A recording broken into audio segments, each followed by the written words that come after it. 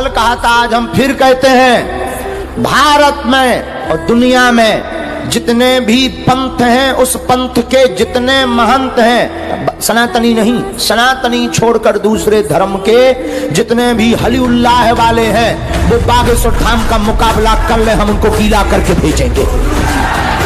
इतना हमें बल अपने हनुमान जी के ऊपर है।